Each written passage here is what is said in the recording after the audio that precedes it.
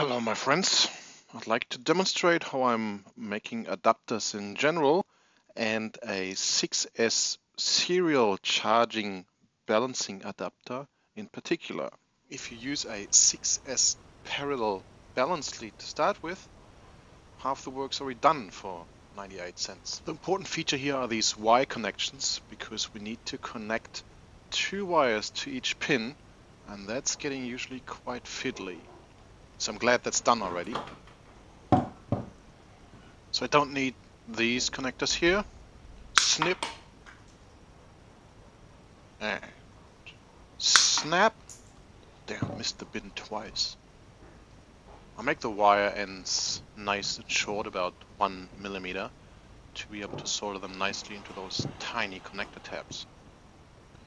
These plugs are called Micro Losi or Micro Walkera 2-pin plugs and I buy them um, at eBay from a fella called Sammy Lamb. Soldering them with normal solder and an iron is pretty fiddly, so that's why I'm using SMD paste. Just fill them all up and then just stick the wire in and hit it with the heat gun. Um, it's just a hot air gun, specifically for SMD soldering, and it's set at 300 degrees Celsius. Very simple, just stick them in, heat up, and done. Here from a slightly different angle, it's a bit like voodoo. You see this grey mass suddenly turning into shiny silver solder. It's awesome. Done. I don't crimp these tabs. I just grab them with a pair of pliers like this and bend them off. That, uh, well, removes them from these attachment tabs and forms them properly to fit into the plug at the same time. Before I start fitting the tabs into the plugs, I'll prepare some heat shrink.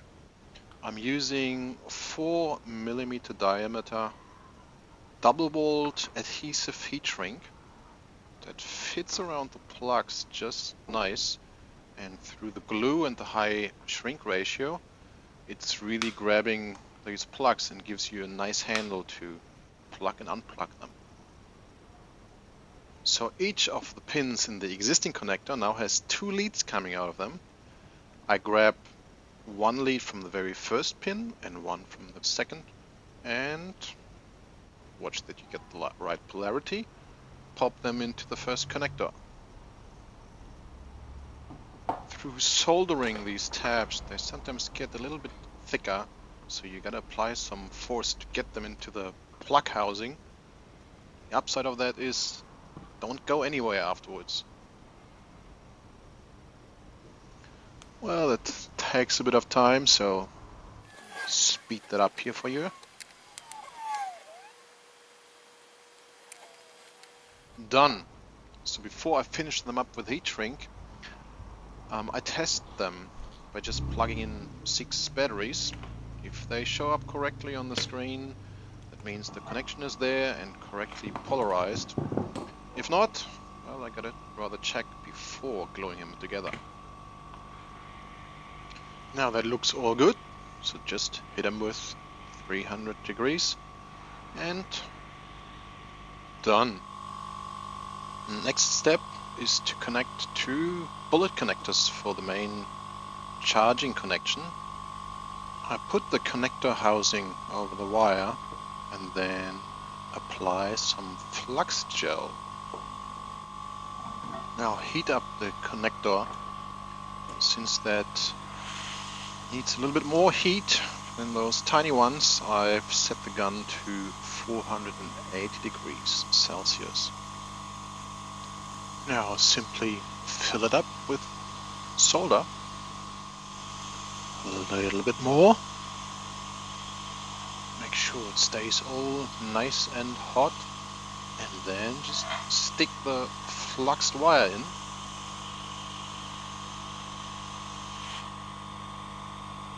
Now make sure to keep it steady for a while because these bullet connectors retain a lot of heat. So 10, 20 seconds and good.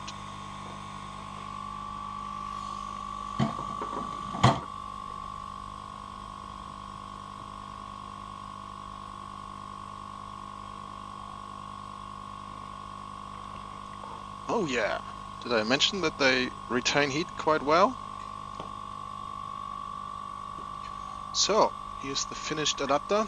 As you can see, it has um, a bullet connector on each of the outer pins and micro Losi two pin connectors between each of the six pin pairs.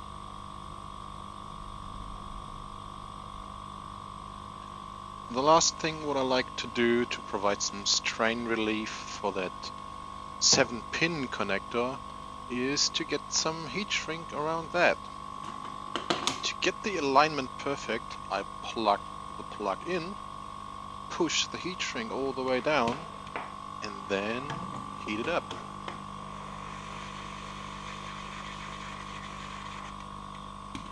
I just love this heat gun made my tinkering life so much easier. In case you're interested, it's a Yihua. Sounds like a karate move. A Yihua 968 DB Plus. Costs around a hundred bucks.